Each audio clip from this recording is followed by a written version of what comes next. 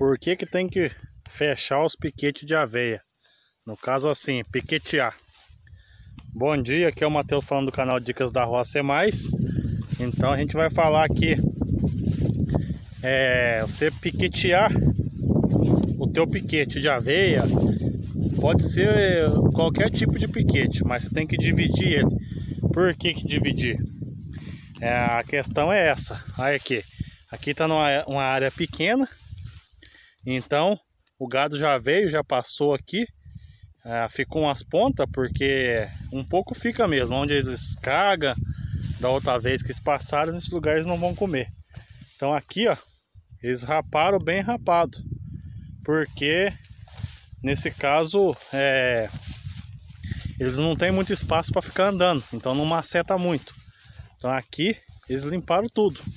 Então é importante que você divide os piquetes tem que, tem que dividir, porque senão eles andam, andam muito e acaba não comendo tudo, desperdiça. Então a aveia agora nesse já está meado aí no mês de julho, né? Então para quem vai querer plantar já não dá mais. Agora já já pode já é, arrumar a terra já para plantar o a soja, quem vai plantar soja, quem vai plantar milho, né? Então já não dá mais para mexer mais com a aveia.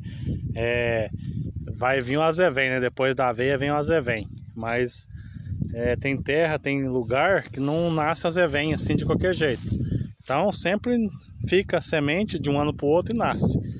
Então aqui é isso aqui, é fazer os piquetes, dividir certinho que, que tem bom resultado. E quem já plantou aveia sabe que, que tem aí vários lugares né, que, que planta, que tem área grande que faz silagem. Então nós aqui também tem um, uma grande área ali, uns, uns 4, 5 alqueires, para fazer silagem. Então né, vamos logo aí, depois que ela sementear, né, que ela vai ter que madurar um pouco, né, e sementear, vai fazer silagem dela então. Então essa ideia aí de silagem é para ter aveia o ano inteiro. Então a aveia é, um, é uma, uma matéria prima que, que ajuda a aumentar a imunidade da vaca.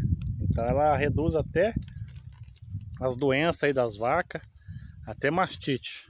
Não, não vai curar a mastite, mas ela inibe de, de, de, de, de se se tá aí contaminando mais, você tá controlado aí. Então Fica essa dica aí para vocês aí, que no caso de, de, de, piquete tem que ser bem piqueteado, tem que ser bem dividido, para não ter desperdício de comida. Então aqui as vacas ficou aqui, essas umas aqui, porque elas são mais golosas, mas já tá lá comida no barracão, já deixei comida no barracão, elas estão aqui ainda. Então, se esses vídeos meus tiver tendo aí serventia para vocês aí, é, se inscreve no canal, deixa lá seu comentário lá. Isso é bem importante. A gente responde aí com muita humildade aí. Então, fiquem todos com Deus. Deus abençoe a todos.